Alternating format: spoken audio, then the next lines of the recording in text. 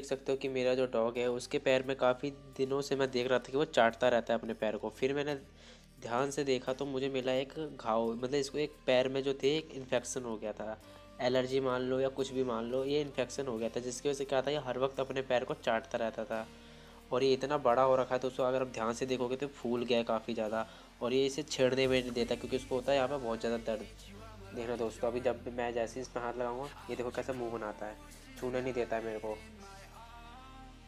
देखो दोस्तों क्योंकि इसको होता है काफ़ी ज़्यादा दर्द। लेकिन आज मैं एक ऐसी दवाई बताने वाला हूँ आपको, जो आप इसके घाव पे लगाओगे, आपके भी डॉक्टर अगर उसके भी पंचों में अगर कभी खुजली होती है या कुछ भी ऐसा हो जाता है तो वो जल्दी से जल्दी ठीक हो जाएगा। टाइगर, नो, नहीं, बाबू, नहीं। देखा दोस्तों, आपको अपने डॉग को अपने कंट्रोल में रखना चाहिए, ना कि आपको उसके कंट्रोल में रहना चाहिए। अब मैंने उसको मना कर दिया तो अभी कुछ भी नहीं करेगा, छेड़ने पे, ये देखो दोस्तों। अब मैं इसको कितना भी छोड़ दूँ, कुछ भी नहीं करेगा। क्योंकि क्या होता है दोस्तों, आप डॉग ले तो ले तो लेते हो, लेकिन आप उसके कंट्रोल में रहते हो ना कि वो आपके कंट्रोल में। अब जैसे दोस्तों, ये जो दवाई है, ये काफ़ी ज़्यादा बेस्ट रिज़ल्ट है। इसमें आप देख भी सकते हो, ये एंटी बैक्टीरियल एंटी फंगल और एंटी इन्फ्लामेंट्री है।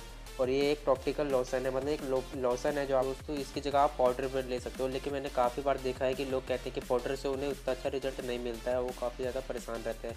तो आज मैं इस लोशन को लेके आऊँ, जिसका रिज़ल्ट भी मैंने कई बार देख रखा है, क्योंकि कई बार ऐसा हुआ है कि उसकी मतलब टाइगर के पैर में जो है ऐसी इन्फेक्शन देखने को मिली है तो मैंने ये यूज़ किया और बहुत जल्दी एक दिन में ही ये सूख जाता है घाव और बहुत जल्दी ठीक हो जाता है। तो दोस्तों आपको ध्यान रखना है कि आपके पास मज़ल भी हो, क्योंकि अगर आपके पास मज़ल नहीं होगा तो आपका डॉग क्या करेगा? जब दवाई आप लगा देंगे तो उसको चाट जाएगा और चाटने के बाद उसे ख़त्म कर देगा। तो उसका कोई भी फ़ायदा नहीं रहेगा, बल्कि आपके डॉग को उल्टा रिएक्शन भी हो सकता है इस दवाई का, क्योंकि ये एक्सटर्नल दवाई होती है, ना कि इंटरनल एक्सटर्नल आप सिर्फ़ बाहर ही यूज़ कर सकते हो डॉग के बॉडी के। तो आपको दोस्तों ये जो दवाई है, इसको पहले सेक कर लेना अच्छे तरीके से। उसके बाद ही लगाना है आपको। अब जैसे यहाँ पे टाइगर का घाव है दोस्तों दो मिनट में आपको थोड़ा जूम करके दिखाता हूँ।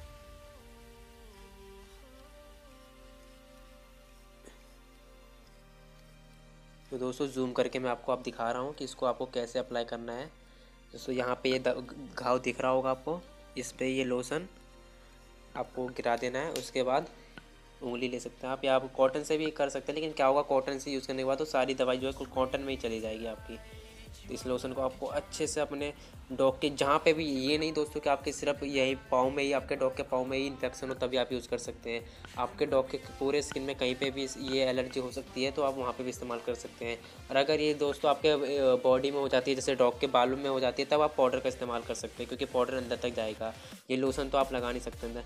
जो जैसे देख सकते हो, मैंने अच्छे से लगा लिया ये लोशन टाइगर काफ़ी डर रहा हुआ है।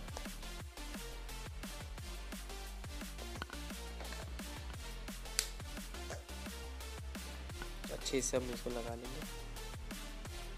दो मिनट टाइगर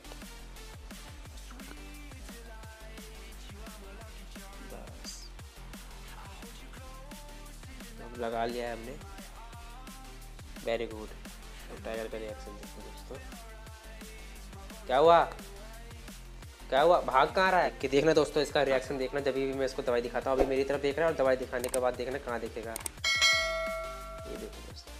अब देखना दवाई हटा ली, अब मुझे देखेगा। अब जैसे इसके पास दवाई लाऊँगा, ये देखना मुंडी घुमा लेगा क्या है ये? हाँ टाइगर क्या है? ले, दवाई ले ले। हमेशा इसके ले। दवाई से बहुत ज़्यादा डरता है दोस्तों ये। अब दोस्तों, ध्यान रखना है, आपके पास जो मज़ल होगा, वो आपको ज़रूर बांधना है अपने के, वरना उस दवाई को वो अच्छे से क्या करेगा मतलब चाट जाएगा और उसका कुछ फ़ायदा भी नहीं होगा आपको। और वो घाव सूखने में काफ़ी टाइम भी लग जाएगा। लेकिन ये जो लोशन है, आप इसका इस्तेमाल करेंगे तो आपके जो डॉग का जो ये, जो भी इन्फेक्शन है जो भी प्रॉब्लम है वो अच्छे से ठीक हो जाएगी। तो अब मैं इसके मज़ल बांधने वाला हूँ दोस्तों।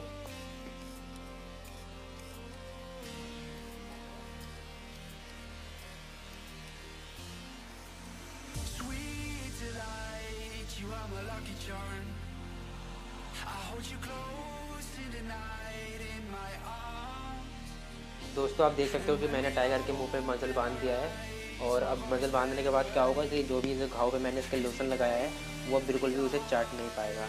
और उसके बाद एक से दो दिन में इसका जो घाव है, वो ठीक हो जाएगा। तो दोस्तों, अब जो ट्रीट बची थी टाइगर के लिए, मैं उसे दूँ कैसे? टाइगर उसके लिए परेशान हो रहा है। टाइगर, कैसे खाएगा? हाँ? कैसे खाएगा ट्रीट हाँ? कैसे खाएगा?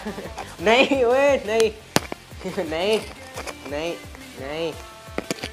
नहीं, अब नहीं मिलेगा। अब जब ठीक हो जाएगा, तब खाना। चलो तो दोस्तों, वीडियो को यहीं पे एंड करते बाय बाय